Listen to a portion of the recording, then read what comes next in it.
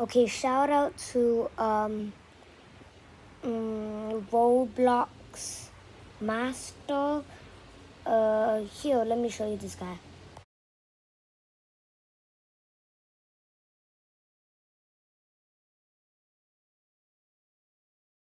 By the way, that was not for the challenge I just made, and he's just my friend.